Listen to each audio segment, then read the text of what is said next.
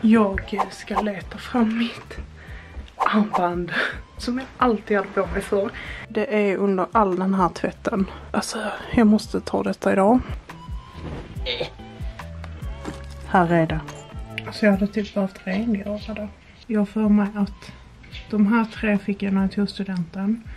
Sen det här hjärtat fick jag av Sebbe.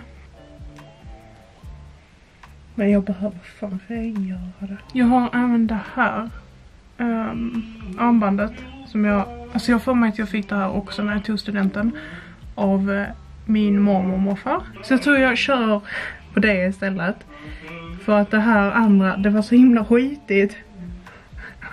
alltså vad gör Sebbe? Jag vet inte.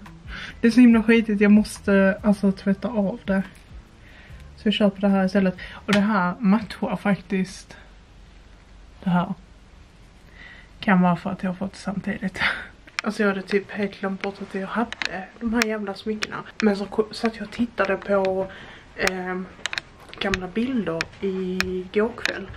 Och då såg jag att jag hade dem på mig så kom jag på fan jag har ju de här smyckena. Men jag har inte haft dem på så många år. Alltså jag har typ bara haft jobb där man inte kan ha smycke på sig. Alltså jag hatar mina ögonbryn så jävla mycket. Jag vill typ gråta. Alltså jag måste göra en jävla laserbehandling för att det här jag mår fan dåligt varje gång jag ser mig själv i spegeln för mina ögonbryn ser hemska ut. Alltså min tatuering under nu är så himla fläckig nu också. Så mina ögonbryn ser fläckiga ut oavsett hur jag än gör. Just nu så försöker jag använda mindre värme på mitt hår. För att jag ska ändra min hårfärg det här året. Jag har ju låtit min naturliga hårfärg växa ut. Inte gjort liksom någon kemisk behandling. Så nu är det bra, bra kvalitet och jag vill liksom behålla den kvaliteten. Och eftersom jag ska bleka håret så vill jag liksom ta hand om håret så bra som möjligt. Men det här är liksom inte värme och jag försöker komma på um, olika sätt för att få mitt hår att se ut som jag typ har gjort en blowout. Utan att jag har gjort det. Och jag har ju liksom lockigt hår och jag försöker liksom så här göra det rakt. Alltså om jag bara så förklarar hur jag har gjort. Jag använder så scrunchies, satte upp håret så och en till här så att det liksom torkar så. Och sen så har jag använt mig av så här stora rullar. Rullade, alltså när håret har torkat ganska mycket så rullar jag upp håret liksom här, tre här och sen en på varje sida till luggen och lät det sitta i flera timmar. Sen när håret liksom var helt torrt så tog jag ut det och då fick jag någonting som typ ser ut så här. Alltså det blir ju inte perfekt och det blir ju inte som om jag använder liksom värmeverktyg men det är liksom omöjligt att åstadkomma. Särskilt om man liksom inte har rakt hår från början för att håret blir ju liksom frissigt och så här. Men jag har hittat några produkter som faktiskt får frisset att se väldigt mycket mindre ut. Och det är en blandning mellan den här Philip Kingsley Styling Finishing Touch ett hårserum och sen eh, hårolja. Man kan egentligen använda vilken hårolja som helst men jag använder den här by Nour. Så det jag gör är att jag tar lite av den här serumet. Typ så och sen så tar jag lite hårolja. Blandar ihop de här. Och lägger i håret. Och det här tar verkligen bort liksom allt friss. Ger glans i håret. För att håret ser lite så glanslöst ut. När jag liksom så har dratt ut lockarna. Jag tror nog ändå ni kan se skillnad. Nu är så konstigt ljus här. Men den här sidan är mer glansig och inte alls lika frissig som den här. Här framme ser det helt konstigt ut. Här. Här är lite så här. Jag vet inte vad som pågår. Jag försöker så här styla mitt hår lockigt men Alltså jag tycker inte, det ser inte bra ut och det, jag vet inte, jag tror nog det är typ också längden på mitt hår just nu. För att om, det, det ser snyggt ut om mitt hår är kortare. När mitt hår var typ så här långt så var det snyggt när jag stylade lockigt. Eh, för att då blir lockarna fina, mer volym till håret och det såg liksom bra ut. Och, och de höll mycket bättre. Men nu är det så här konstig längd. Men jag tror när håret har blivit liksom ännu längre, när det typ är ner hit. Så är det ju ändå lite vikt till håret liksom. Och då tror jag att lockarna kommer se finare ut. Eller då blir det nog inte riktigt så här lockar utan då blir mer håret lite mer vågigt eftersom det är lite eh, vikt till håret också så att lockarna liksom drar ut sig mer. Så blir det typ mer vågigt och då kommer det se bra ut när jag har det naturligt.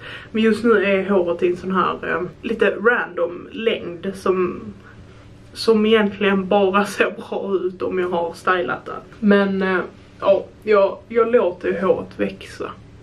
Så det kommer vara bättre sen. Och så får jag testa att styla det som jag stylar ett lockigt hår liksom. Så får jag se hur det ser ut då. Nog snackat om mitt hår.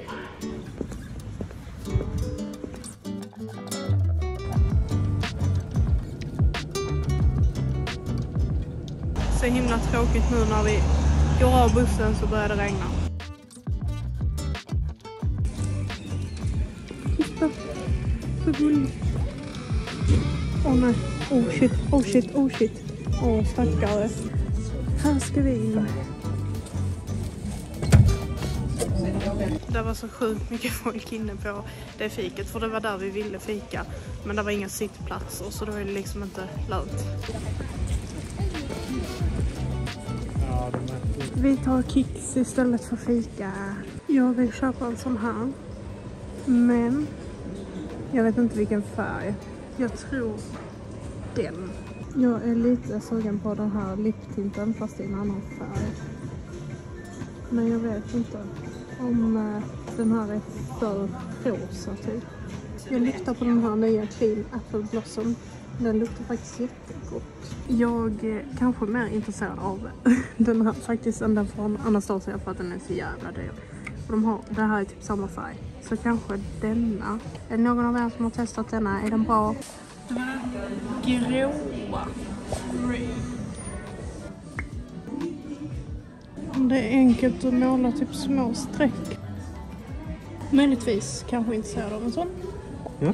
Jag tog med mig testen på parfymen. Alltså så här först när jag luktade på den så luktade den inte gott. Det var typ för mycket. Men nu när jag så har gått och känt på den så luktar den faktiskt jättegott och fräscht. Så jag får suga på den karamellen.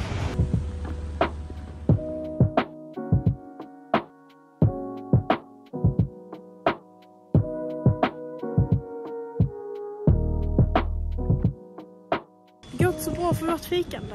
Nej. Det är så här varenda gång vi åker in och ska fika lördag så kommer vi på att eh, det borde vi aldrig göra för det är mer än vi som tänker så. Ja, alla Helsingborg älskar att ute på lördagar. Ja, så ska man fika får man fika mitt i veckan. Då fick jag den. Ja, det var mer smaksam med denna tror jag. Pling! Mm. Men det är liksom den här delen som inte är god. Den där nere. Mm. Vänder upp och ner. Måste jag ändå äta den. Ja, ja men om du vänder upp och ner så En gång det- åt jag ju smörkrämen och gav den till dig och då blev du ju jättearg. Ja. Vi har beställt eh, borgare från Brödernas. ja. Har man inte testat brödernas så är det ett jättetips. Ja, De är jätte, jättegoda. jättegoda burgare. Vår fika gick åt helvete så vi tänkte att vi skulle äta god kvällsmat istället.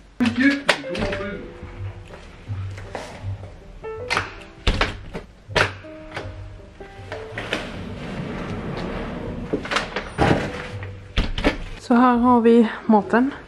Här är min burgare, en vegansk burgare, pommes. Och sen här har vi majs. Och det är Sebbes burgare. godkännas i EU finner vi vår överdådiga, flådiga och extravaganta lyxvilla med Sveriges 11 hetaste singlar. Maten var jätte, jättegod. Alltså jag älskar grillad majs. Jag eh, kollade ju lite smink när vi var inne på Kicks. Alltså jag känner typ att jag behöver köpa några nya produkter för att det är lite så här saker som jag inte är så nöjd med. Särskilt liksom inför bröllopet. För då skulle jag liksom vilja sminka mig fint. Eh, och även när vi liksom ska eh, fotografera våra bröllopsfoton så vill jag också ha en fin sminkning. Och just nu så har jag så här, jag har ingen ögonbrynsprodukt som jag tycker om. Som jag tycker fungerar bra för mig. Utan jag använder ju bara, jag kan visa er. Jag använder ju bara den här paletten från eh, LH Cosmetics. Och så sprutar jag lite vätska här. Och så brukar jag använda alltså den här och lite av den svarta för att fylla i mina ögonbryn. Det är inte riktigt den färgen jag vill ha på mina ögonbryn. Alltså jag vet inte, jag, jag bara så här tänker tillbaka på när jag alltid använde Anastasia Dip Brow. Och jag älskade Anastasias Dip Brow. Alltså det är typ den bästa brynprodukten någonsin. Så jag vill använda så här pomade igen för att jag tycker det är lättast att arbeta med. Men jag är lite så här osäker på färgen. Jag vill typ Alltså jag tror nog jag är mest intresserad av den här jag visar från Maybelline. Men alltså det är min ögonbrynstatuering som alltid som fuckar upp det för att den är jättemörk. Och om jag då fyller i med en ljusare nyans så syns liksom inte det. Då, så är det, liksom, då är det bara mörkt där tatueringen är, är och där jag fyller i med den ljusare nyansen det syns liksom inte så att ögonbrynen ser jätteojämna ut och eftersom tatueringen också är jättefläckig och ojämn så blir det bara Alltså jättefult. Jag behöver fan lasra bort skiten. Men skitsamma, men jag vill ha en ny brynprodukt så jag är lite intresserad av den på den. Sen så har jag en ögonskugga som jag ska köpa. Min absolut favorit ögonskugga som jag inte haft på flera flera år. Kommer från Stila. Eh, deras kitten eyeshadow, alltså den är så fin. Alltså det är den finaste skimriga skuggan jag sett i hela mitt liv. Alltså det är den perfekta färgen för mig. Det är den finaste formen någonsin. Alltså den är så, och den är så fin på ögonen och den faller inte ner. och Den bara glider på. och Den är så pigmenterad och alltså den är så fin. Ja. det är min absolut favoritskugga. Eh, så den ska jag köpa för den ska jag fan ha på mig på min bröllopsdag så är jag också ute efter en grå eyeliner. För att jag tycker ju om att göra så här fransmarkering som jag har idag, så här lite lätt med eyeliner. Eh, och just nu använder jag en svart eyeliner men jag tycker det ser lite hårt ut. Jag skulle vilja ha någonting som ser lite mjukare ut. Jag tycker typ inte om att använda någon brun nyans. Jag tycker typ inte det ser bra ut på mig. Så jag skulle vilja testa en grå för att då ser det lite mjukare ut än om man använder liksom så här full on svart. Jag har kollat lite på LO Cosmetics um, så här gråa kajal, kollat online. Så nu när jag var i butiken så ville jag testa den. Um, så jag testade den liksom här på handen och testade också lite om det var typ lätt att göra lite tunnare streck med den och sånt. Och den var väldigt krämig och så här. Så jag tror nog att jag kanske ska köpa en sån. Eh, och jag har även läst recensioner och det är många som säger att de, är bra och håller länge, väldigt hållbara. Så jag är lite intresserad av en sån. Och det är också en så här produkt som jag har en nytta av varje dag för att jag gör fransmarkering varje gång jag sminkar mig.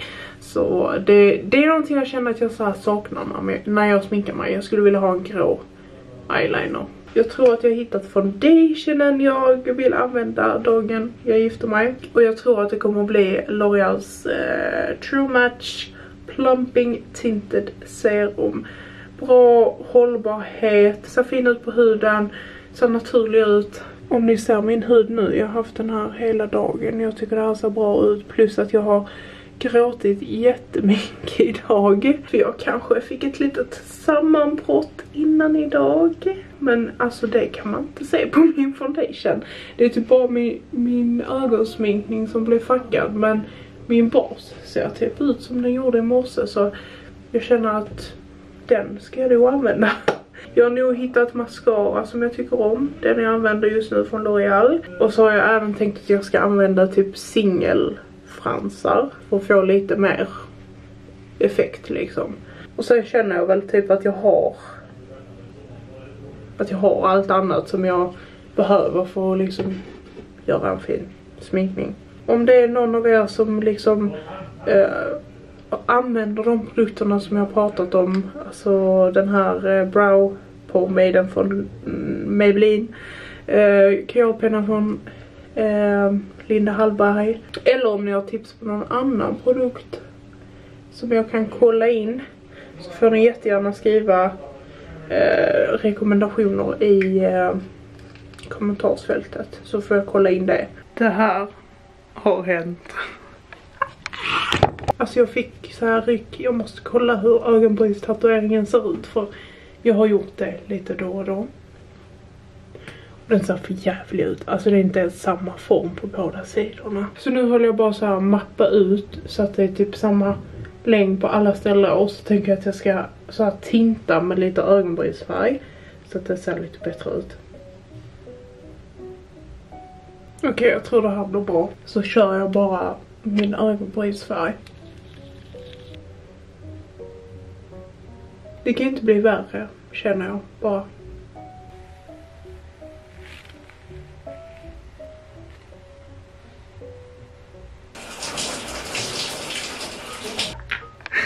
Gud!